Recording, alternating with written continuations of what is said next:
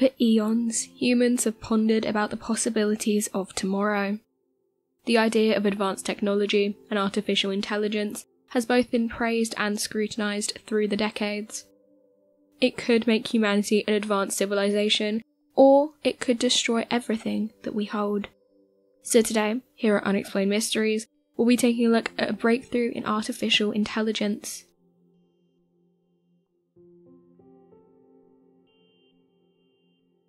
Artificial Intelligence and the Vatican Archives. The Vatican Archives hold secrets untold. Without a doubt, the knowledge hidden away within the archives could rival the lost knowledge which resided in the Library of Alexandria. For 12 centuries, the Vatican has gathered texts and scriptures, concealing them from common sight. The vast libraries are inaccessible to most, only allowing cardinals and the Pope to enter. The Vatican, on occasion, has been known to grant permission to the archives to certain individuals, but it's an extremely rare occurrence and access is limited to specific scriptures. The Vatican archives are 53 miles long, yet only a few pages worth of content has ever been made available to the public. Codice ratio, however, could be the breakthrough to reveal never before published knowledge from the Vatican's library. Its combination of an optical character recognition, known as OCR, and artificial intelligence software, means it's designed to read through text and publish transcripts online for all to read. Should this be successful, the technology could reveal historical, religious, and sacred documents from all over the world to the public. The OCR program has scanned books and printed documents before, but it isn't made to skim through the Vatican archives. The software uses the spaces between letters to break down each letter image, which it then compares to images in its memory bank. The OCR matches the images and translates the letters into code, making the term searchable. Unfortunately, such a process works best on typeset texts. It struggles greatly with handwriting, especially medieval cursive calligraphy. The program can't recognize where a letter ends and another begins, an OCR requires a huge memory bank to have it memorize thousands of words rather than some letters, and is a prominent technical challenge. Codice Ratio is working to fix this by trying something never done before. The main scientists in charge of the project are Marco Maiorino, Donatella Firmani, Elena Nieddu, and Paolo Merialdo. They created a system where the program recognized individual pen strokes instead of whole words. They've called this the jigsaw segmentation. To achieve improved results, the researchers turned to high schoolers for help. They recruited students from 24 schools in Italy to build the memory banks for the project. Once it was developed, the OCR analysed several documents from the Vatican registers, mostly historical letters to European monarchs and noble political correspondence.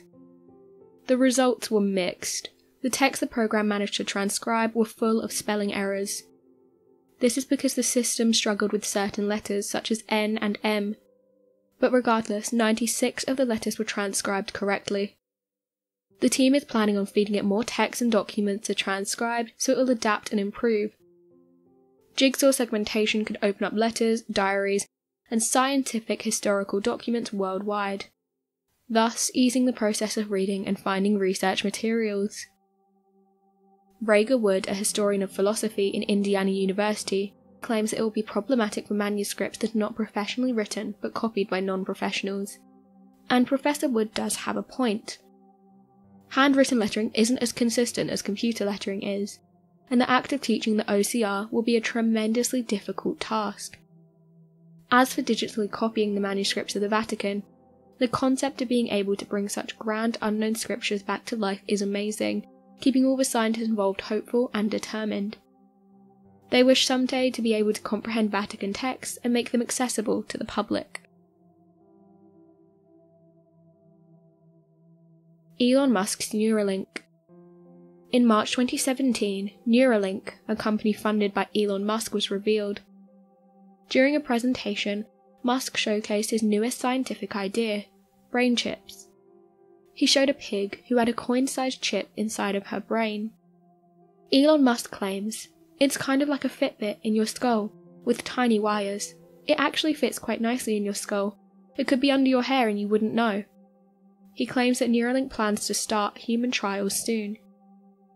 According to the organization, the device could help sufferers of neurological disorders control phones and computer devices with their mind. Musk announced that his device could someday even cure dementia, Parkinson's, and spinal cord injuries. Neuralink will record electrical signals in the brain in order to determine potential actions. Recording neurons will let the link decode the information in the brain. The official website of Neuralink stated the following In the movement related areas of the brains, neurons represent intended movements. There are neurons in the brain that carry information about everything we see, feel, think, or touch.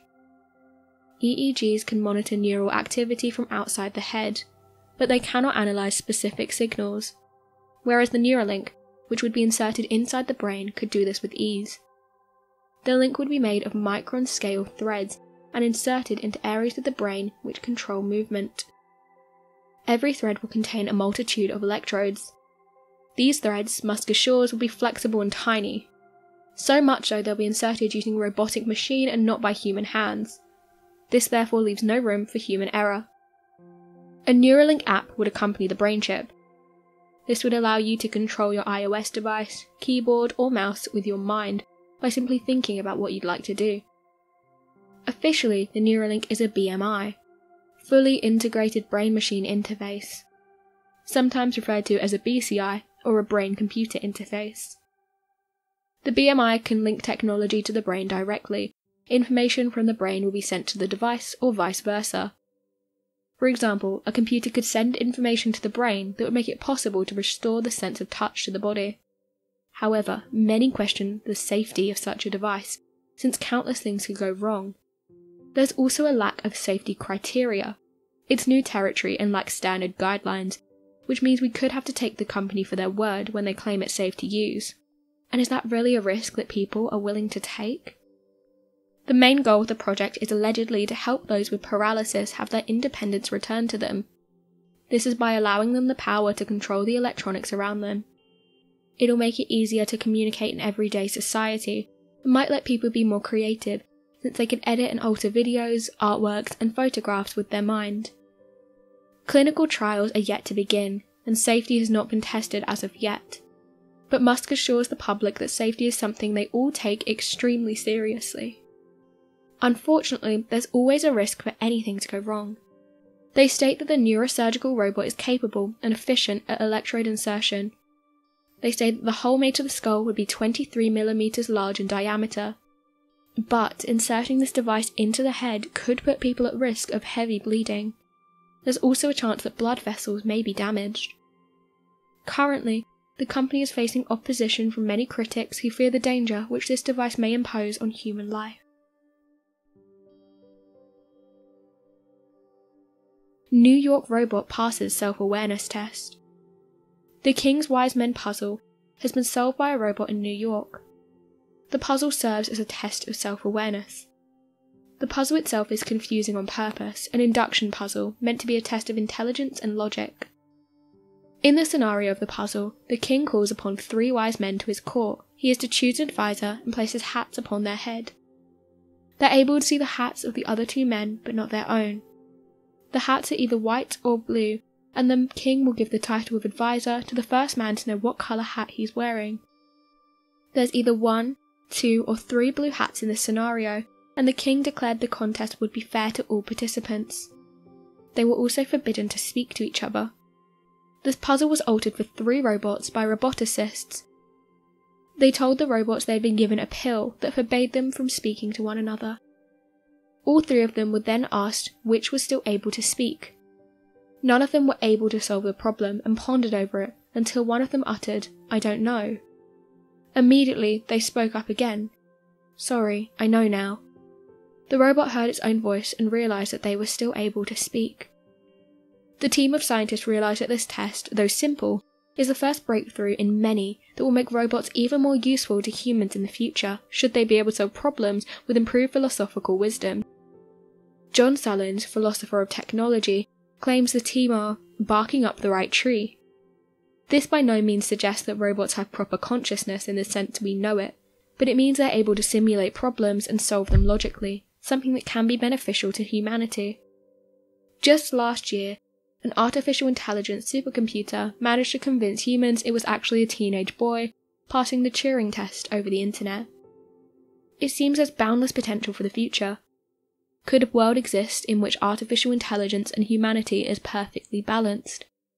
Can technology really be trusted and relied on, or will it be our downfall? A thousand questions which lack answers. But what we can know, rest assured, is that whatever our future is, it won't be bland or dull. It'll be exciting and innovative, or, should some critics be believed, a hellish nightmare. So, what do you make of these artificial intelligences and its ability?